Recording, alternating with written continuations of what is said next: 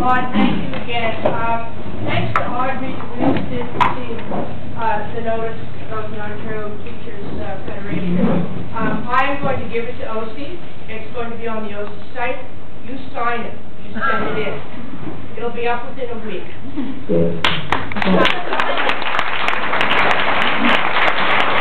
And if I were you, I would not defy this wonderful person. I think she meant it. I, I'm just, um, if you were gobsmacked. Um, you introduced the idea of the legislation that's going, it, that is underground, it's under our radar, that have huge implications on the things that you just presented.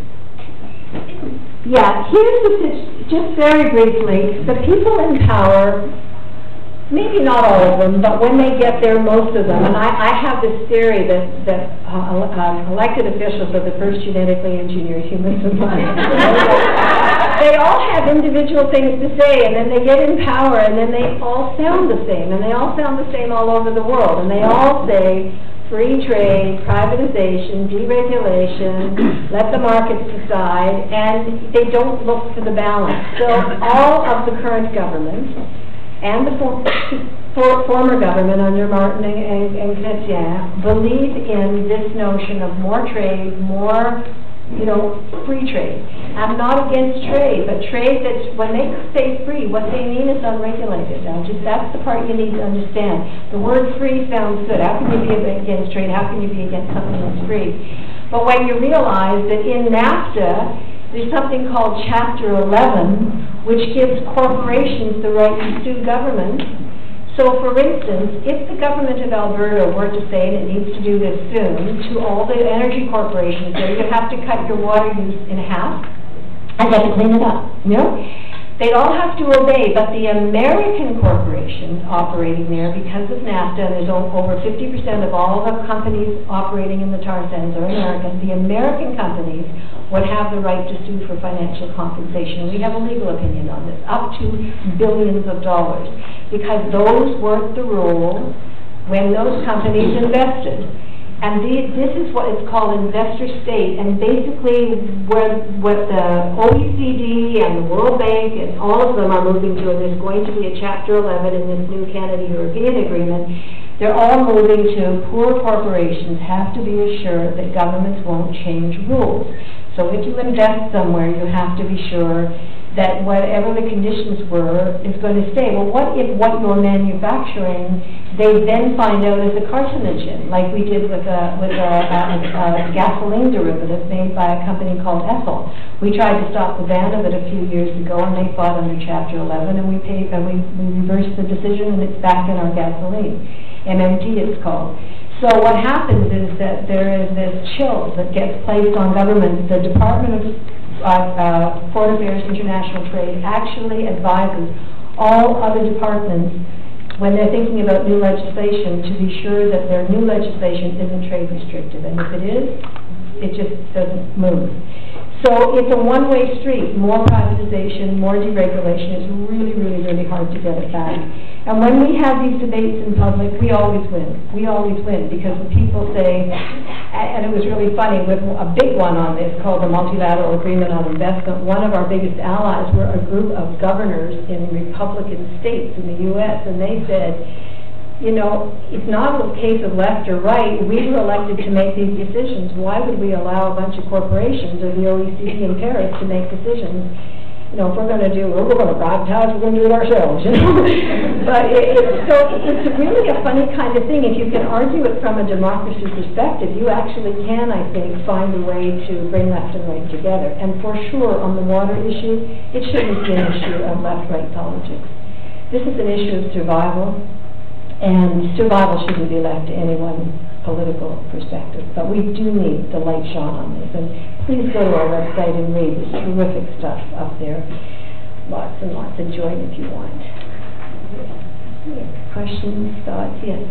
Um, I was first admit that I don't know very much about trade agreements, but something like NAFTA, is there kind of a, a deadline where at some point it needs to be there, or is it kind of a perpetual forever and ever? It's forever and ever until one country gives a six-month notice. That's all that would be needed. And we're not even saying now that that would be a sensible thing to do because the economy is so integrated. What we're saying is we should be taking out the most egregious parts of it. So the parts that I would take out are chapter eleven, the ability of corporations to sue. And I don't know if you remember during the debates that Obama and Hillary Clinton both promised to remove that chapter eleven. Never has gone anywhere, but they both promised on the hustings, because they're worried about it too. I would remove the part that says we have to share our energy with the United States. The reason we're in the tar sands, you need to understand this, is NAFTA related. Because in NAFTA, we went from having Canadian energy to North American energy.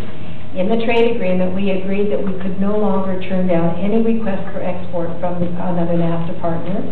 We had to give up our right to have a 25-year supply of gas for ourselves because it happens to be cold up here, and we used to have that reserve, that had to go. We couldn't charge two-price system, we couldn't charge more to other countries or customers than to Canadians. So, and then we should sign something called proportional sh- uh, sharing, and proportional sharing is the more we're selling into the US, the more we're required. In other words, if we start to run out, we can't turn the clock back. That's why we're going to the non-conventional energy.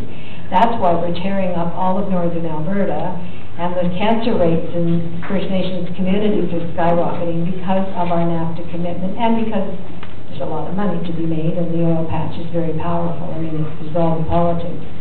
So I would remove that. Um, so there, and just for you to know, the Americans don't obey NAFTA one bit when it doesn't suit them. I mean, they didn't obey the softwood lumber ruling, they just don't obey what they don't like. And that's the problem. On paper, a free trade agreement looks good because sauce for the goose is sauce for the gander, except if one country is twenty times another country, okay, you know, all right, we're going to punish you, we won't send you any more eggs. Oh, well, okay, did you send us eggs? Whereas the big country says, we're gonna punish you by turning, by, by, by uh, cutting your supply of, of, uh, of energy or whatever, you're dead. So it, it really, you know, if Canada had the courage, we actually have a bargaining chip with our energy, but one government after another just, you know, whatever you want sort of things. I used to say in all my speeches, you cannot be ec- ecologically literate, or economically literate, or socially literate if you don't know about these trade agreements. I think I haven't said that for a while, but because, I don't know, I got tired of myself saying it, but it really is quite true. Other than, like for our students, other than uh, the typical water conservation tips that we give to, to kids, are, are there any things, maybe top five things that you would have students know about and do in terms of daily, Yeah. monthly actions, rethinking? Right. Okay, the question is for students, what can they do? I will go, again, go onto our website, they've got great stuff. They can stop drinking bottled water, take the pledge, and that's really important, and talk to their families and all of that. It's a big first step, and it's not the only step, but it's something they can do personally. Um, they can look to and talk to, again, their families about reducing their water footprint in their own homes. The biggest water footprint in our homes is our lawns. Now, we can convert our lawns to non-water intensive uses, that's a big, huge thing, but all the appliances and so on. Um, they can learn a little bit about our law, and again, if you go to our website, we have five, we, we're demanding a new national water law, we have five steps that, that we believe need to be taken. Um, so again, you know, that's kind of, maybe they can speak to their member of parliament, or have their parents speak to their member of parliament, but just, um, kind of learning that. And then beyond that is all that we need to learn about for the rest of the world, and becoming water conscious is a, is a very important thing. Really, the stuff that you guys all teach about protecting watersheds and wetlands and forests, I mean, the forests, God, the Forest Act, as a biotic pump, they pump up that water from the ocean, that, that, that, you know, that